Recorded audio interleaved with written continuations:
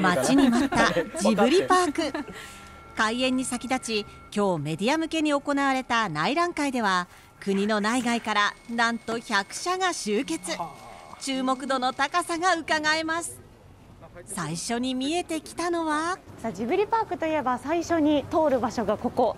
エレベーター塔ですね、駅降りてすぐですね方々ですゴージャスどこの国からですかフランス。あフランス。ありがとうございます11月1日にオープンするジブリパークはジブリの大倉庫青春の丘どんどこ森の3つのエリアで構成まずはメインエリアのジブリの大倉庫へわあ大倉庫の入り口が見えてきましたと可愛らしい雰囲気ステンドグラスが。ありがとうございまベールに包まれていたその内側へと入っていきます。うわわあまた雰囲気がガラリと変わりますね。すあそこ。何船飛んでます。すあごいですね。あれ？はありますよねやっぱり天空の城ラピュタの世界観ですよね、天空の城ラピュタでおなじみ全長7メートルの空飛ぶ巨大な船がプロペラを回しながらゆっくりと飛んでいました。さらにその下に目をやると。忠実。そして見てくださいこの中央階段。これが本当に色鮮やかで美しいですね。うわーようやく見ることができました。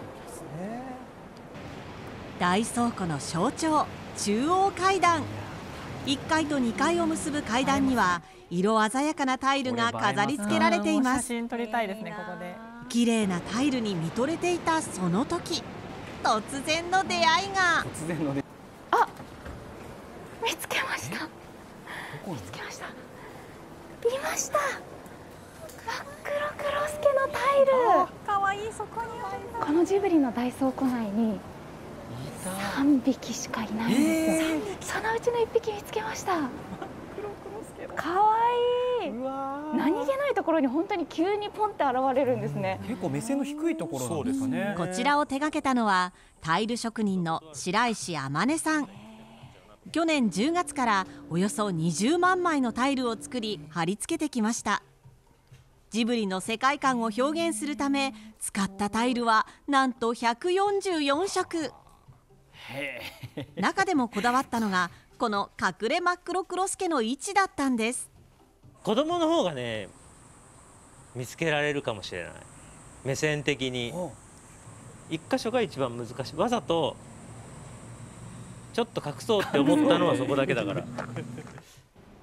皆さんもぜひ隠れ真っ黒クロスケを探してみては？楽しみが増えますねさらに中を進んでいくと館長室と書かれた展示が中を覗いてみると。いました。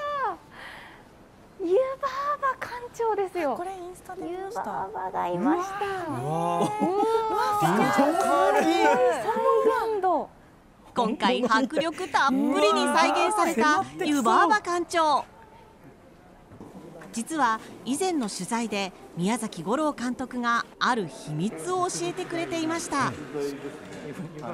大倉庫にいる人は髪の毛は全部植えてあります。植えてある服もちゃんと着てるし。そう思うとむちゃくちゃ時間かかる作業ですけど。面倒くさいんですよ。よーく見てみると確かに髪の毛が一本一本植えられています今にも動き出しそうな湯婆婆館長。五郎監督によると従業員がしっかりと働いているか監視する役目を担っているんだとか。ギョロッギョロッとこっち見られそう。ジブリの世界観にたっぷりと浸れるジブリの大倉庫。その中にあるのが続いては皆さんがものすごく気になっているであろうグッズ売り場見ていきましょうかお土産などが買えるグッズ売り場。数々の名作品に出てくる人気キャラクターたちの人形はもちろん地元の伝統工芸とコラボレーションした限定アイテムも買うことができます。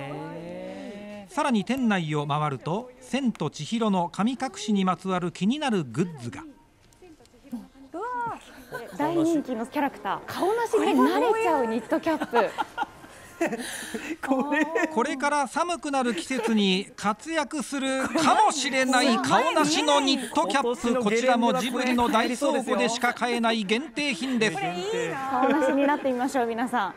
こうやってああってやるんですよ。くれくれ注目のグッズ売り場ということもあり店内には多くの取材陣が。その中には海外のジャーナリストも今あのフランスのあのジャーナリストが3人なので、と3人で取材をしてて、このジブリパークの魅力ってどんなところだと思いました？すごいいい雰囲気と思いますけど、え海外の方も楽しんでもらえる場所ですかね？はい、そうです、と思います。なんと取材中の松原アナがフランスの国営メディアから急遽逆取材されることに、嘘。映る？これ私インタビューしてもらってるんですか？とても貴重な機会ありがとうございます、い、やもう一歩この世界に入ったら本当に見たことのない世界が広がっていて。